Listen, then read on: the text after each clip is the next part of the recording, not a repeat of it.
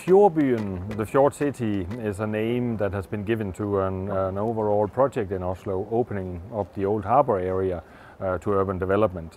The first development in what is now known as Fjordbyen started with Aker Brygge in uh, the 1980s, a well-known and well-used area for cafes, bars, restaurants uh, at the center of the city waterfront.